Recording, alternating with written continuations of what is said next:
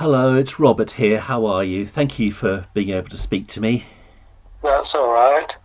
I forgot which congregation I, I rang. I was on jw.org, find a meeting. Yeah, you rang Leiston. Leiston. Are you nearby or far away? Um, no, I don't. Where is Leiston? L A Y S T O N?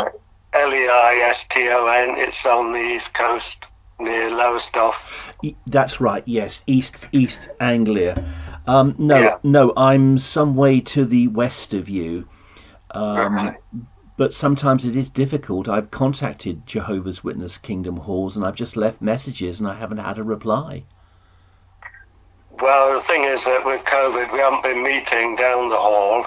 Often there's a phone and a, an answer machine sometimes at the Kingdom Hall, Yes. but we haven't been there for two and a half years. Oh, I see. Okay, okay, thank you. Um, well, what puzzles me is chapter 13 of your book, Enjoy Life Forever. It's, um, it's paragraph 2. Do you want me to read it? Um, it's okay, I can find it, but yes. Uh, continue. It's on page 55, thank you. It's um, lesson 13, paragraph 2. False religion does not treat people as Jehovah does. The Bible says that false religion's sins have massed together clear up to heaven. For centuries, religions have meddled in politics, supported wars, and caused or approved the death of countless numbers of people. Some religious leaders enjoy a lavish lifestyle and demand money from their followers to pay for it. These actions prove they do not even know God, yet alone have the right to represent Him. It does seem to be a little harsh in condemning religions that have any involvement at all in warfare. It's interesting when you consider both the history and modern history of religion hmm as to the things that it uh, gets involved in. Uh, many would say that it was the uh, uh, supporter or even promoter of wars when you look at history. But of course, we recognize that many individuals who are religious are very caring, helping, um, charitable individuals. So it's not talking about individuals, it's talking about religions as a whole and the terrible things that they have in fact uh, caused to happen. I see. So it's the religious institutions that are. Um, well, I mean, one of your awakes calls. That, that would be a better way of putting it than the long-winded way I just did. Okay, um, I, I've got an awake here which basically says that it calls the religious institutions pawns of Satan the devil. Um, it's the awake for the 22nd of the 4th, that's April, uh, 1993, page 6. Rather than encourage love for one's brother, the churches have supported and even promoted the killing of one's brother in war. Thus they have become pawns of Satan the devil just as assuredly as were the religions of the ancient Egyptians, Assyrians, Babylonians, and Romans. So it does seem to condemn any religious institution that fights in warfare or even supports war in any way as pawns of Satan the devil. I mean, have, have I understood that right? Yes.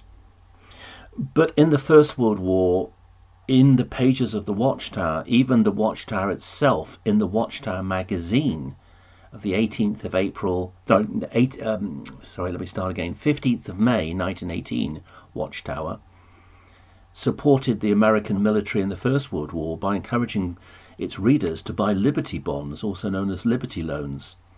That was money you loaned the American government interest free to support the American war effort. That's the 15th of May 1918, page 6257 of the Green reprints. You know, why is the Page Watchtower. 6,000. Pardon? Page 6,000. 6,257. The Wow. Watchtowers were reprinted in 1920. They're called the Green reprints. They were reprinted in seven huge volumes in 1920. So it seems that you have done lots of research on this, and therefore it's probably not the first time that you've uh, engaged in this issue. So I wonder if your questions are therefore really genuine. Well, yes, they are genuine. I, I haven't had answers from Jehovah's Witnesses. You know, um, they just tell me to go to jw.org and do some more research, or they hang up on me. Um, Well, but I, I wouldn't be rude to hang up on you. Um, the first point is quite valid. There's lots of information there that can be researched, and obviously you're very good at uh, researching information. um, how do you how do you back to what may have happened in 1918 uh, doesn't really uh, impress me very much, I'm afraid. Seeing as I can't check on it myself at the present moment. Well, you can always write to the head office. They would have the watchtowers. They would be able to send you photocopies to see if these, to see if what I have told you is is accurate and true. I mean, Rutherford even took part in a national day of prayer in America. He knew he was about to be arrested and go on trial, so he deliberately took part in a national day of prayer. Unfortunately, we do not have photographs of this event. But he prayed with Catholic priests and with Protestant clergymen on a raised platform for victory in the First World War. He was one of, one of another. He was one of a number of religious leaders doing this. Doesn't that make the Watchtower just like all the other religions, exactly the same? If you want to draw that conclusion, of course you're free to do so.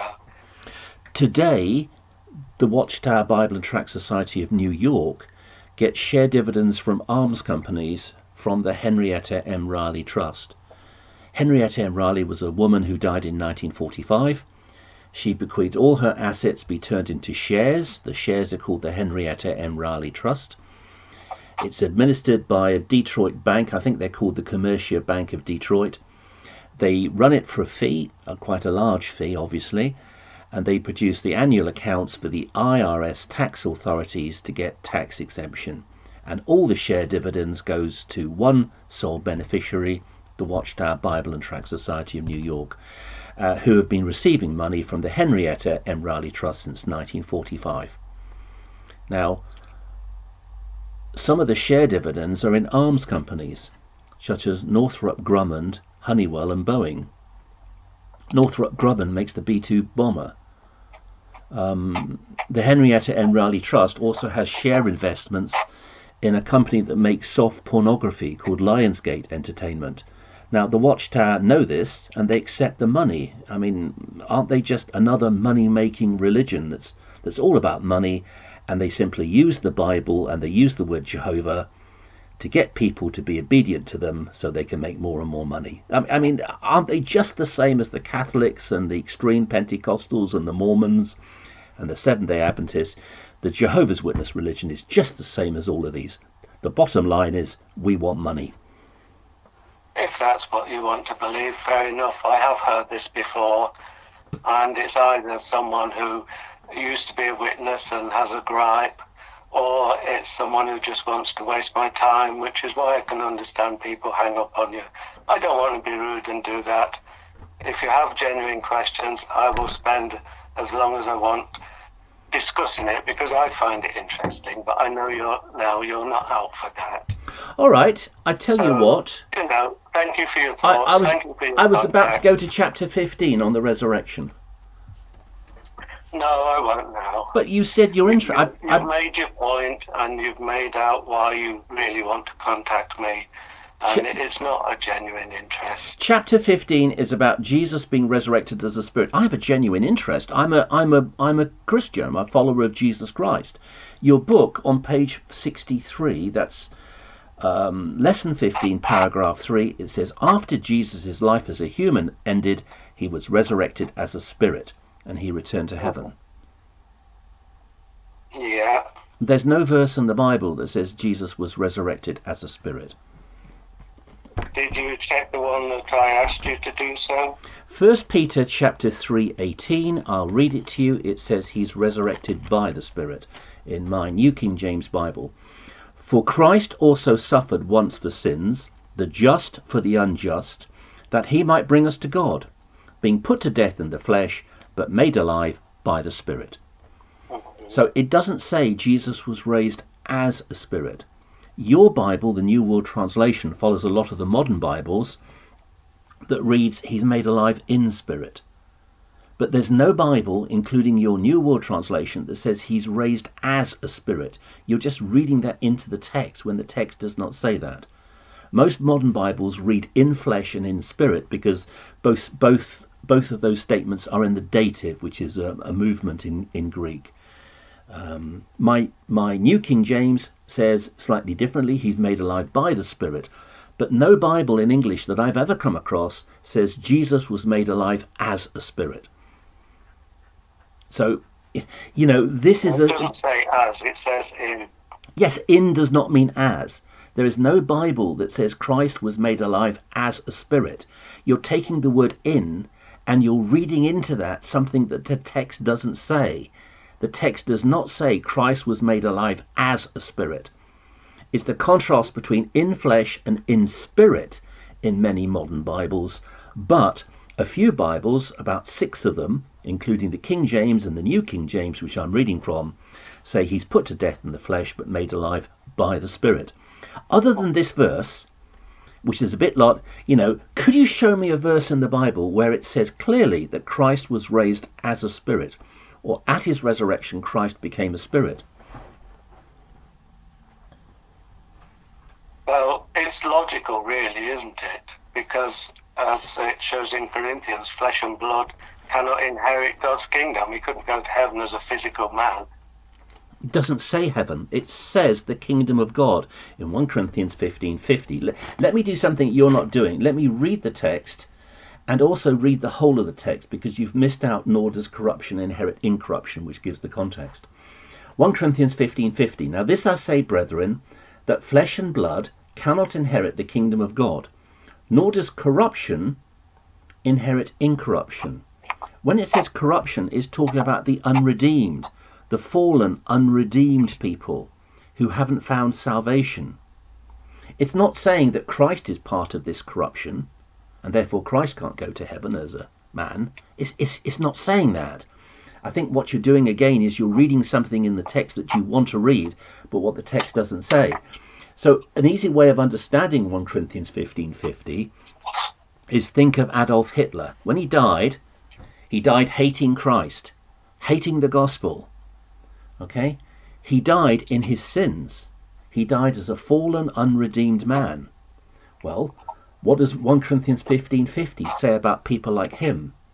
It says that people like him who are corrupt cannot inherit incorruption.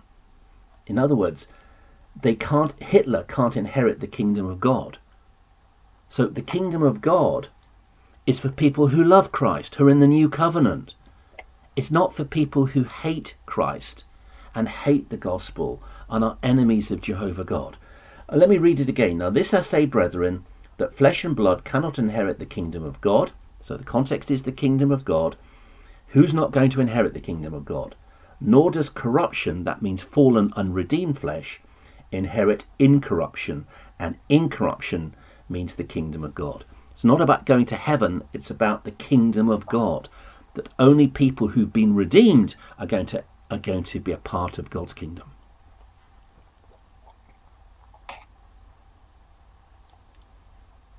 Do you have any response?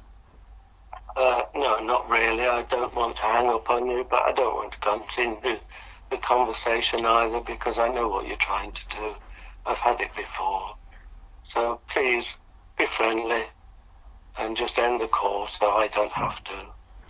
Why why does the Watchtower, No, admittedly no many years lies. ago, teach No- that Lucifer is a god? No more points, no more reading Lies? script you have. Excuse me, I want to read, I want to quote from the book Cr- Children by Judge Rutherford, published I think in 1941. And on page 55, Rutherford says two things about Lucifer, which is the name for Satan before his fall.